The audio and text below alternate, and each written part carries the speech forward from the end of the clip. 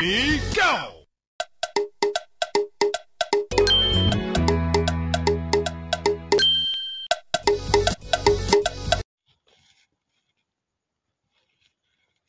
Breaking news. Welcome to today's headlines.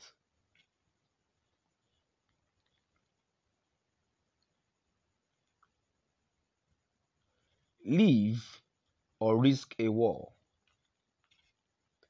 Bandits issue quit notice to five villages in Plateau State.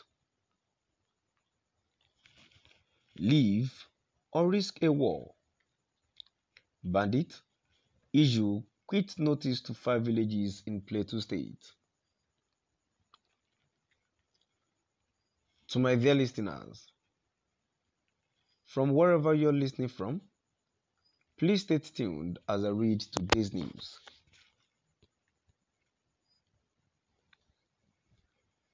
Bandits have issued quit notice to residents of Zabon, Zama,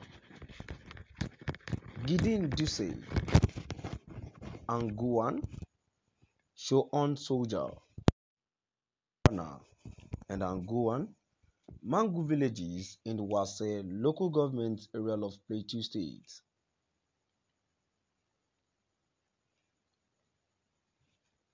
According to Daily Trust, residents said masked gunmen stormed the communities and asked them to either leave within five days or risk a war.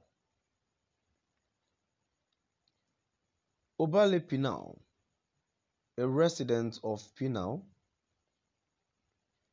a village 11 km away from Wase, told the publication on Tuesday, June 28, that the government threatened to attack the area, advising them to vacate or face the consequences.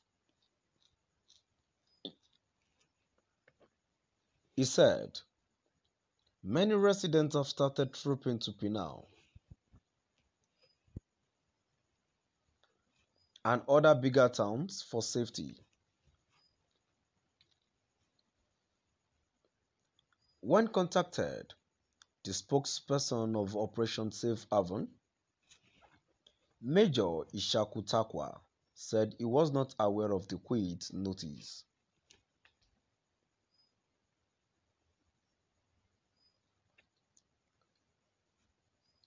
Bandits have issued quit notice to residents of Sabon, Zama, Gideon Duse, Anguan, Nshohon Soldier, Anguan Yuhana, and Anguan Mangu villages in Wase local government area of Plateau State. According to Daily Trust, residents said masked gunmen stormed the communities and asked them to, to either leave within five days or risk a war.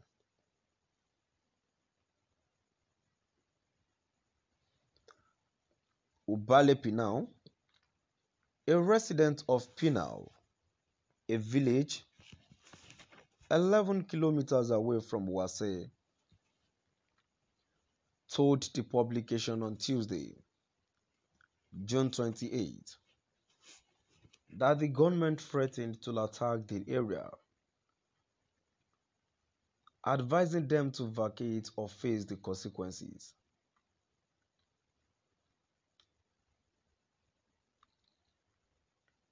He said, Many residents have started trooping to Pinau and other bigger towns for safety. When contacted, the spokesperson of Operation Safe Haven, Major Ishaku Takwa, said he was not aware of the quit notice. Bandits have issued quit notice to residents of Zab- Sabon Zama, Ginden Dusel, Anguan, Shoan Sogja, Anguwan Yuhana and Anguwan Mango villages in Wase local government area of Plateau State.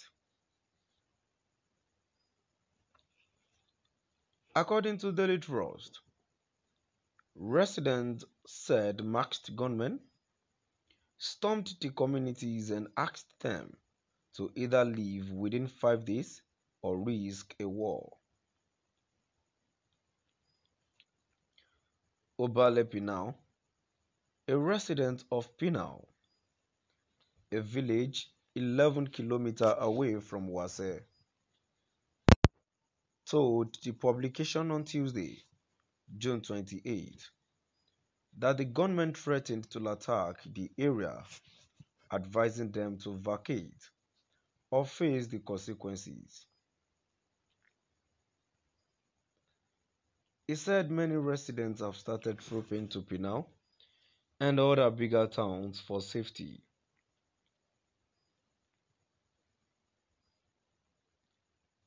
When contacted, the spokesperson of Operation Safe Haven, Major Ishaku Takwa, said he was not aware of the quit notice. To my dear listeners, from wherever you're listening from, now we've come to the end of our today's news.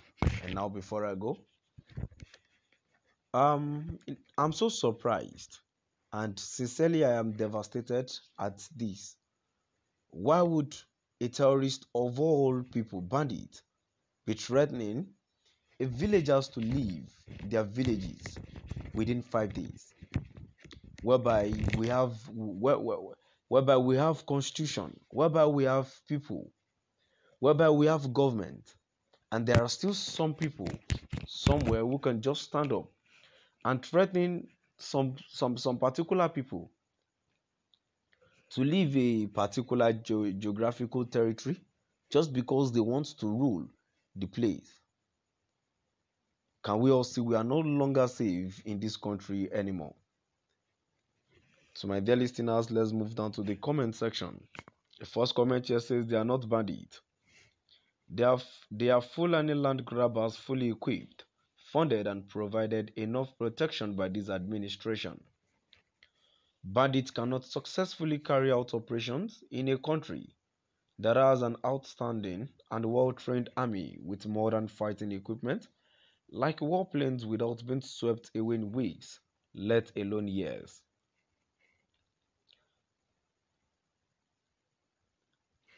To my dear listeners, now we've come to the end of our today's news. Please do drop by at the comment section